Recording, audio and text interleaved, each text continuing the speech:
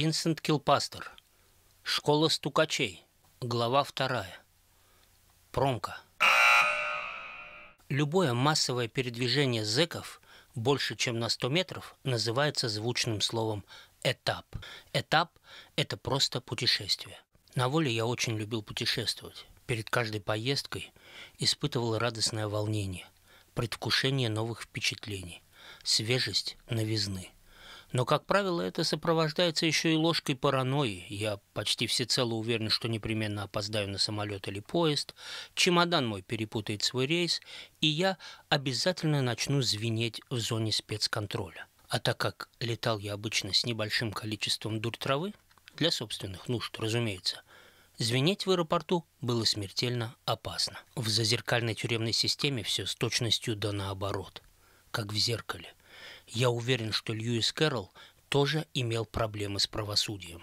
Отсюда и Алиса в зазеркалье. Перечитайте ее, когда вас посадят. Оцените глубину. Когда выглядываешь из-за решетки в мир нормальных людей, реальность выглядит отражением. Вот выгляни в щелку в стене несущегося по улице воронка и увидишь, как люди идут и едут по своим делам, а ты чувствуешь, что до них очень далеко, несмотря на видимую близость. Вот протяни руку и достанешь. Но ох, как не скоро ты сможешь влиться в их поток. Ох, как не скоро. Зазеркалье. В зазеркальной системе всегда все наоборот – там во время путешествия ты почти не волнуешься, зато от волнения сходит с ума вся охрана. Менты снуют туда-сюда, постоянно вас пересчитывают, сбиваются, орут друг на друга на разных тюркских наречиях и грозно размахивают дубинками. Казаки в плену мамилюков. Неизвестная акварель. С философской иронией ты сидишь на корточках и наблюдаешь за всем этим сумасшествием с высоты собачьего роста. Теперь я понимаю природу иронии кошек и собак в отношении людей. Снизу это выглядит настолько нелепо, что совершенно подмывает концепцию овенцетворения. Безумное и трусливое стадо бесхвостых обезьян, узурпировавшее мир. В Зазеркале, как я вам уже говорил, путешествие именуется громким словом «этап». Этап – это многозначительное и высокопарное слово, так что просто стыдно волноваться по пустякам. Например, что твой воронок уедет без тебя или вовремя не подадут конвой. Слово «этап» просит себе высокую пару. Этап жизни, этап истории, этап развития. Увы, теперь это вызывает у меня только одну ассоциацию. Собаки, менты, узбекский язык жизненный опыт сузил и поменял некоторые размытые до этого дефиниции. Говоря о словарном запасе языка, грех не отметить, что в солнцеподобную эпоху правления президента Каримова в языке тюркских племен прочно вошли три слова – «сникерс», «этап» и Столыпин. В каждой узбекской семье безоговорочно полюбили сникерс, а один из членов обязательно либо путешествовал по этапу, либо лично конвоировал путешественников в Столыпине. Конечно, не в каждой узбекской семье знают, что Петр Аркадьевич Столыпин – это фамилия царского премьер-министра. Большинство простых узбеков заблуждаются, наивно полагая, что Столыпин – это просто тип вагона железной дороги, как, например, плацкартный или почтовый. Вагоны для транспортировки языка – это маленький сувенир человечества от Столыпина. А единственное, что добавил к занятной штуковине доктор экономических наук Каримов – максимальную загрузку на квадратный метр полезной площади. Благослови его милосердный Аллах. Все равно – он гуманней, этот человечный человек. Ведь злобный Сталин просто возил людей в теплушках. Так что нас в обычно шестиместном купе сейчас едет всего лишь навсего 27 человек. Хорошо еще, что всем выходить на одной остановке. Мое тело просто вынесут. В остальном все как в нормальном поезде. Стук колес, запах шпал, приятное ощущение, что полка под тобой все время находится в движении. Baby, Baby wants a diamond ring. I can't afford that diamond no more. Baby wants a diamond ring. Вместо проводников, правда, солдаты. Солдаты похожи на афганскую армию Наджибулы. Худые дети в форме нового, несуразного дизайна. Поэтому вместо положенного железнодорожного чая у наших проводников опиум и гашиш. Так что, уверен, Столыпин вам понравится. Опытные зэки обожают этапы в Столыпине. Анархия. Абсолютный паралич системы. С одной стороны зэки, в основном и социальная прослойка, с другой стороны солдаты нищей страны, которые сами завтра окажутся на скамье подсудимых. Загнанная в Столыпины страна быстро адаптируется к новым реалиям.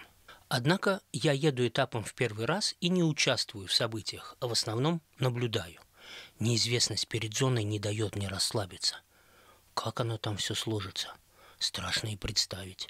Мой багаж – это срок, 8 лет усиленного режима. А что такое усиленный режим? Чем он отличается от общего или строгого? Не думаю, что это режим питания. Восемь лет. А вдруг я заболею туберкулезом? Ох, я, кажется, начинаю каяться в содеянном. Соседей моих, однако, похоже, беспокоит совершенно другая проблема. Им не дает покоя вопрос, кто же такой едет двух купе от нас? Важный и богатый до безобразия. Нас здесь вон сколько, 27, правильно?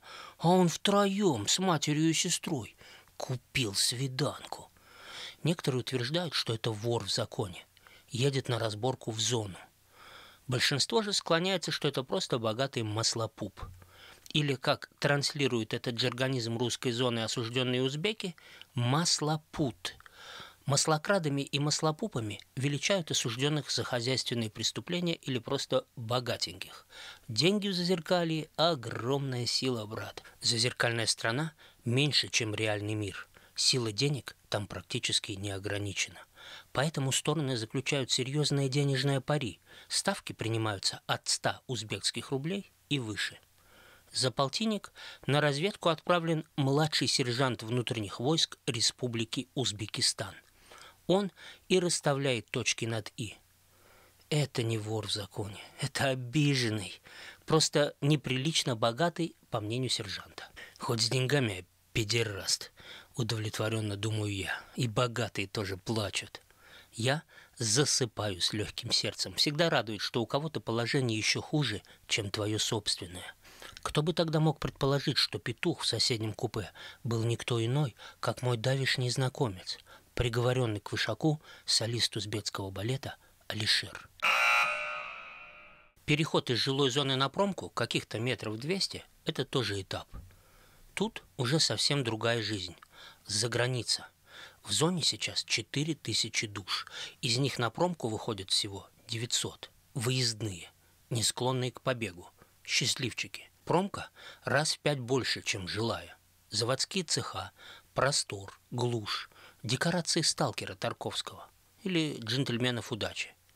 Почти у каждого из 900 отдельный уголок, где можно вздремнуть, приготовить жратву, спокойно подрочить или написать домой письмо – Плюс отоварка в зоновском ларьке. Жестокие польские сигаретки «Кракус», само название которых предупреждает о возможных последствиях в виде кракуса легких, и залежалое андижанское печенье «Байрам», в переводе «праздник». А самое главное, в каждом цеху своя душевая с горячей водой, а в некоторых парные с настоящей каменкой. Хотя можно и без каменки.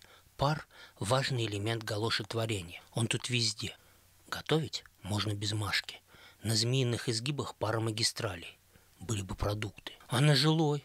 Пропускная способность бани человек 300 в день. Открыто три раза в неделю. Горячая вода только когда комиссия наедет из Ташкента.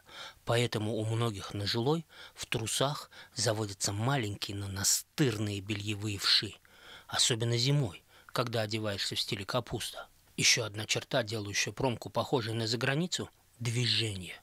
Движение – это значит, на промку заходят недовольные своей зарплатой вольнонаемные рабочие. Они готовы поставить на движение родную мать. Движение – это жизнь, основа зэковской экономики. Движение – это сигареты, чай, шматье, наркота в обмен на калоши. Потом это все становится элементом товарообмена на жилой. Товар, калоши, товар. Формула папского экономического чуда – процветание на резиновом ходу. У работников промки не только нет вшей, но еще и более сытая, обеспеченная по зоновским масштабам жизнь. Галошные короли. резиновые магнаты. Я теперь один из них. Человек с фанерным чемоданом. Посчитал замиранием сердца свои картишки, трое сбоку ваших нет. Вроде все пучком. Все тузы в колоде. Обойдется сегодня без торжественной порки. Уже неплохо. Уже очень неплохо. Пошаркал свой офис. Да-с, у меня и кабинетик свой есть. Инженер по ТБ называется. Есть такой отдел, а как же, товарищи? Сам хозяин кабинета, Джавлон Суюнович, человек старой формации. Ему на вид лет 60-65. И сразу видно, что всю жизнь прожил в СССР, а не в том, во что все превратилось сейчас. Он говорит по-русски без малейшего акцента, видел Курскую дугу не только в кино и всегда заступится, если видит, что менты измываются над зэком. Как и всякий человек старой формации, он ворует галоши не краснее. Джавлон Суюныч появляется на посту два раза в месяц, в аванс и в получку. В остальные дни заскакивает только на 20-минутный обход. Результаты обхода – плов и не вяжущий лыка к вечеру Суюныч. Зачем зэкам техника безопасности? Сдох, списали. Завтра этапом пригонят новых гангстеров. Сажательная машина инженера Каримова работает без сбоев. Сам отец нации обещал к началу нового тысячелетия показать по телевизору последнего вора в законе. Если вдуматься в семантику фразы, последний, он же и первый вор в законе, так сказать, альфа и омега, это сам избранный народом президент республики. Вор в законе. Отсидеть в Узбекистане сейчас такой же почти положняк, как раньше отслужить в армии. Не сидел, значит не мужик. Официоз всячески выдавливает из нового узбекского языка все слова, намекающие на позорные годы, прожитые в Российской империи. Узбекскими учеными-филологами подбираются слова, заменяющие чуждые термины типа картошка или стиральная машинка, но со стороны зазеркалья в узбекский язык вливается целый поток блатной русской фени, которую, правда, все чаще слышишь и с официальных российских телеканалов. Старая формация оживила языки народа в терминологии Маркса и Фейербаха. Новая формация подарила ему феню и братков. Я лично расшифровываю ТБ как тубер-кулез. Здесь в зоне его хватает. Махорка, испарение лака и жидкая баланда делают свое дело. Дочь Джавлон Суюны Чарахбарой и сын Надзор Гани по кличке Ганс тоже работают в зоне. Калиш кормит всю их семью и весь поселок. Адидас отдыхает.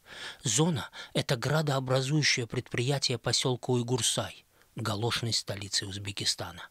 Теперь целый день до самого съема с работы, когда я сделаю еще одну перекличку, могу делать, что хочу. Ну, то есть почти.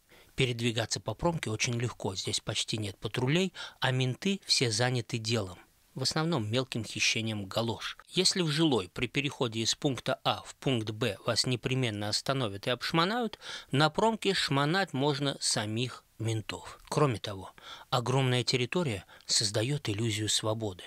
Жить можно. Вот накоплю деньжат, куплю через Джавлона Суюна чамашку, и все будет просто в кайф.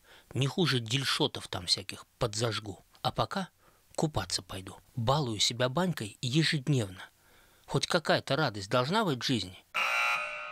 Самая лучшая баня в мех-цеху. Там можно закрыться изнутри и горланить песни Высоцкого часами, время от времени окунаясь в небольшой бетонный колодец, служащий бассейном. Атас! Все в поте лица сейчас создают или расхищают материальные блага, а я в это время парюсь. Тоже, впрочем, в поте лица. Господин нарядчик, хозяин жизни, а за эту парную можно вытерпеть любые презрительные взгляды за спиной. Лучше презрение человеков, чем любовь в шей бельевых. Вот еще бы хлеба хоть пайку где выкружить, и совсем было бы неплохо. А то до обеда-то вон еще вечность, а жрать-то охота. Выползаю из парной, красный как рак. Ползу в ТБ. У входа уборщик штаба, петух по имени Лукуман – он сообщает, что у меня посетители. Лукман хоть обиженный, но при штабе. Одет с иголочки, по зоновским меркам. Морда чуть шире плеч, не промахнешься. Старается всем быть полезен, даже мне. И правда, трется тут какой-то стручок около моего кабинета. Салям. Ката – это по-узбекски «большой». Если узбек лет на 20 вас старше вдруг не с хуя обращается к вам кята, это не от избытка уважения. Это что это ему надо, хвосту крученным. Пока не сбежал из Узбекистана, никогда до конца не понимал, что значит «Восток – дело тонкое, Петруха». Теперь понимаю хорошо, но вот объяснить все равно затрудняюсь. Это надо почувствовать. Салам, палам, слушаю тебя, бабай. Мой семейник промки не ходит совсем. Один день придет баншман клады все. Потом свиданка заходит. А я тут при чем? Пусть делает, что хочет. Благословляю. Ты, кота, вечер карточки поставляй. Он идет промки. Да. Семейник – это тот, с кем этот старик делит жратву. Почти все в зоне живут семейками по 3-4 человека. Так легче проколачивать движение. Кто во что гораст. Один швец, другой жнец. Ну а если попадет на дуде игрец, то тогда, извините, точно быстро в обиженку загонят. С дудой тут не шутят. Можно сказать, хуй имеет особенное социально-политическое значение. Определяет, к какой вы относитесь касте. Вся жизнь зоны вертится вокруг этого, если задуматься, совершенно бестолкового органа. Так ты, старый, хочешь, чтобы я его без списка на промку вытащил? На должностное преступление толкаешь? Ай-яй-яй-яй-яй. Я? Кота? Такой разговор не говори. Я преступлен, преступлен, Бельмайман. Карточка поставляй, все. Промки выходят семейные. Старик лезет куда-то в недра грязного бушлата и извлекает на свет запечатанную пачку сигарет «Хан» с фильтром и с тамерланом, горцующим на стройном текинце. «Мана вот кета, поставляй карточку, Эльтемос. Пожалуйста, прошу, да». Старик скромно, но настойчиво пихает пачку мне в руки. Ах, вот он, источник дохода, с которого ехал Бектас. Золотая карточная жила. Я выполняю тут функцию Авира. Даю визы в рай. Люди выходят на один день просто искупаться. Ха! Чтобы на свидание с женой мандавошек не приволочь. Вот оно что! Так, еще четыре пачки с фильтром, и можно свою Машку справить. А за пачку с фильтром запросто набор для маленького жаркого или даже для плова куплю у ушлых поварят из 11-й хозбригады. Не кисло? Расправляю плечи. Пошло дело. Главное теперь не спалиться на этой хуйне. Доля риска, безусловно, присутствует. Блэк Джек с карточками в нарядной сегодня вечером. Маленький покер со смертью. Элитное казино «Кто сдаст когда?» Эй, а бригадир твой меня не сдаст? Э, бригадир, бригадир сам правильно кламан, точно тебе говорю. Ну иди, старик, будет тебе новый невод. А Поставляешь, кята? Вставляю по самые помидоры. Иди, иди, работай. Ай, рахмат, Джон. Не болей. Baby wants a string of pearls. Baby wants a string of pearls. Gotta get on track and make the dollars fast. Baby wants a string of pearls. Ништяк. Мазево мое дело. Только бы не подстава мусорская. Этого мой хрупкий организм не выдержит. Боюсь звездюлей до ужаса. В дверь стучат. Зык. Стучит по-зыкски. Да. В ТБ, развинченной походкой, в вольной одежде и с вольной же прической, входит положенец промки. Андрей. Встреча с блатными, как и с ментами, не сулит ничего хорошего. Это главный блатной промзоны. Смотрящий. Какие у него еще титулы? В ответе за промку. Во как. В ответе. Очень поэтично. Как ты, братан? Я тяну ему сразу вспотевшую ладонь. Братан – это только вора в законе принято называть, но блатоте всегда льстит, когда их в звании повышаешь. Андрей не замечает моей протянутой руки. «Ты что ли вместо Бека теперь?» Как будто не видел меня на разводе, сучка блатная. «Я, брателла, я!» Кидать на стол бумажку с фамилиями. «Этих двух Васьков завтра с 14-й бригадой вытащишь». «Андрей, братуха, 14 это лаковарка. Там контрольно-следовая полоса уже начинается. Выебут меня за запал. А их в склоннике оформят. За запал я сам и отвечу. А тебя не сегодня-завтра и так выебут. Не шугни, Шурик. швыряется с мешком мне в морду пачку полмал и выходит. Вот сука, даже не просит, инструкции выдает. Ненавижу я этих блатарей. Хотя полмал это круто, конечно. Разнервничавшись, открываю полмал. Его уж больше года не курил. Ебись она в рот. Это Машка, это работа. Один хер спалюсь. Не сегодня-завтра. Ароматный дым немного успокаивает. После полета можно курить одну за одной. Легкие сиги, как в воздух. Ладно, нахуй. Свалю-ка я из этого ТБ, а то еще десяток куркаганов сейчас придет бить челом. Вытряхаюсь из офиса и сталкиваюсь в коридоре с надзором по имени Урин. Что, калиш воровать пошел уже? Молодец. Как раз на пузырь мне надо. Что вы, Уринака, у меня ревматизм. Калоши носить нельзя. А вот, смотрите, полмал. Хотите закурить? Урин выдирает сразу штук восемь. Ну-ну, ревматизм на калёше. А полмал уже куришь, да? Движенщик, сан. Да куда мне, Уринака? Я нарядчик, не движенщик. Ну-ну, ща обратно пойдешь, я тебя полю. Полмал не возьму. Пузырь надо. Пузырь. Бля, ну вот заебали все в край. Куда погаснуть на время? Лучше вообще ни с кем не общаться, чем такое общение. И почему говорят, будто в одиночке люди начинают гнать? Ерунда. Гнать начинаешь от чудесного общения. Пойду в столовую, может, выкружу что пожрать. До обеда еще час, но поварята уже накрывают на столы, я знаю, готовятся. Собравшись духом, иду в варочный цех. Это так кухня здесь называется. Варочный цех. Святая святых. Повар Нурыла ковыряет в гигантском котле чем-то наподобие лодочного весла. Он весь мокрый от стоящего здесь жара и напоминает раба с галер. Рядом с видом Навуходоносора восседает сам шеф-повар промки Мурод, заплывший жиром и в вольной одежде. «Эй, чё лезешь сюда?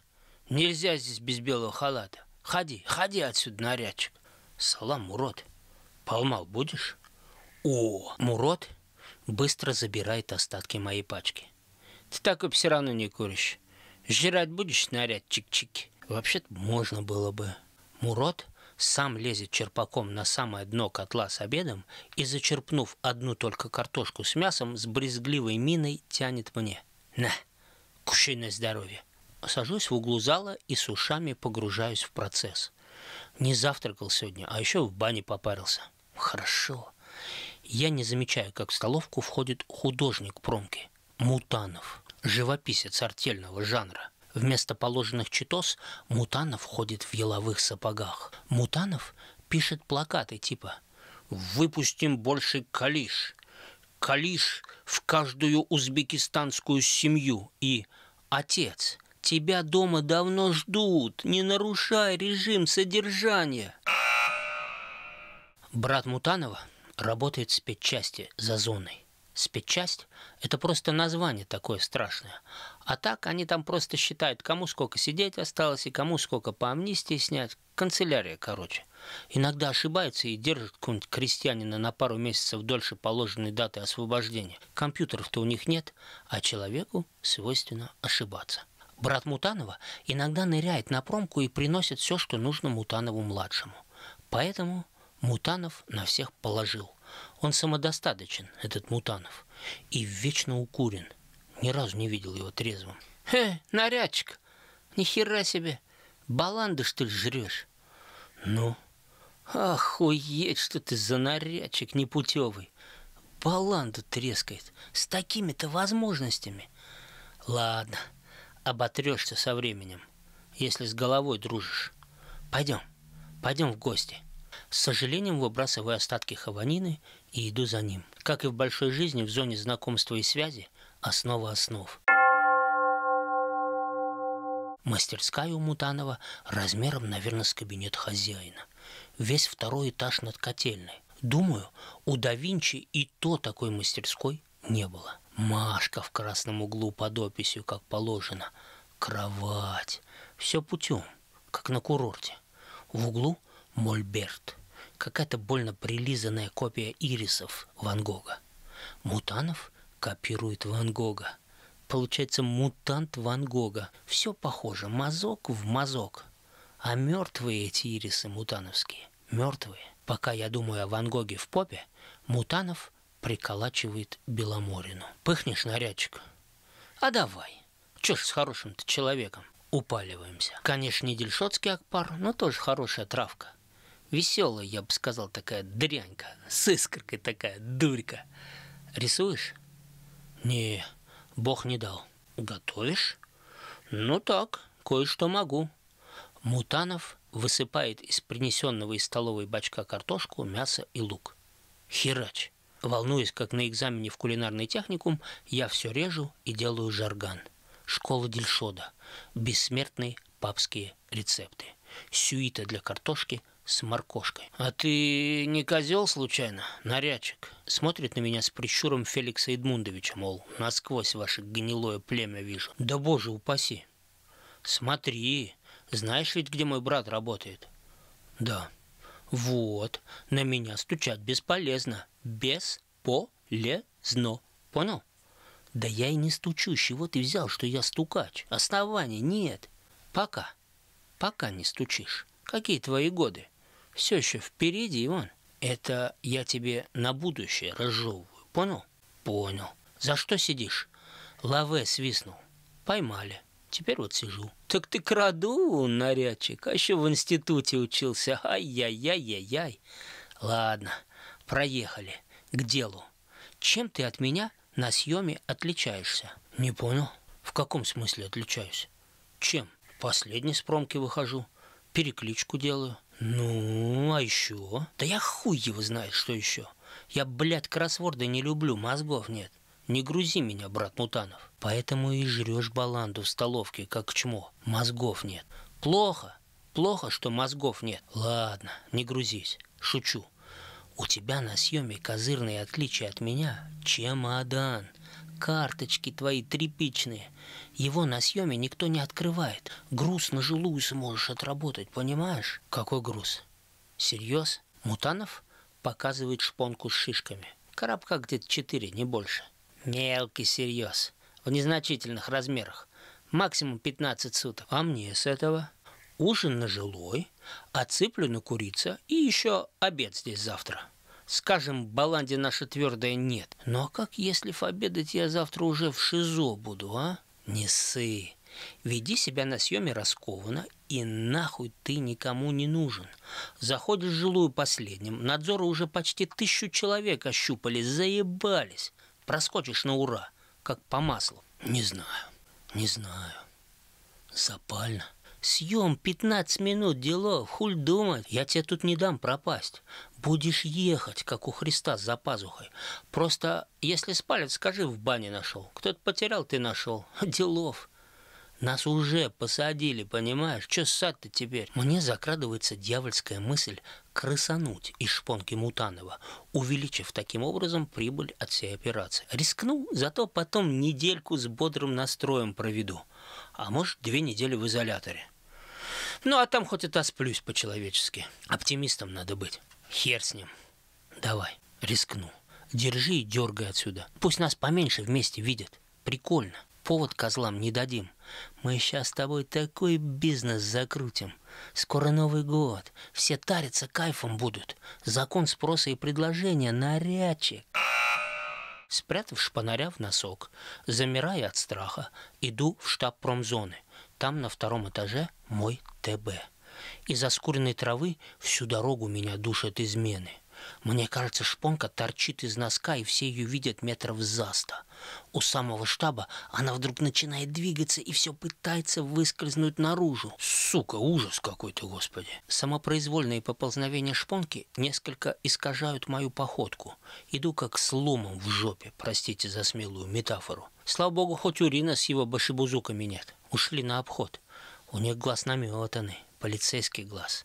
Ща бы в раз на пузырь заработали. Обиженный по жизни Лукман озадаченно смотрит мне вслед. Он-то что уставился?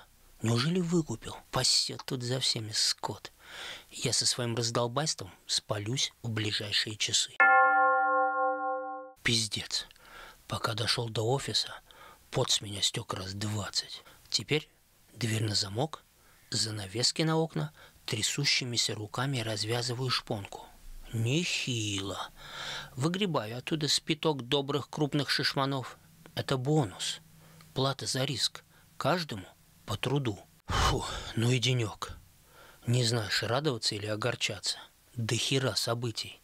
Хотя в итоге я сыт. В кармане пачка сигарет, планом затарен на несколько дней, да еще и пожру вкуснячки на жилой вечером, если доберусь.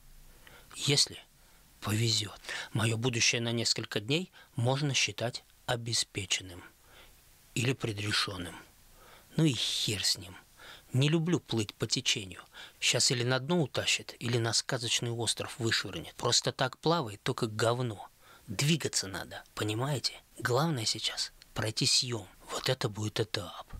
Он покажется мне длиною в вечность. William has a stash, I'm told. William has a stash, I'm told. I went down to his place with my pistol and my grapes. William had a stash of gold. Old William had a stash of gold.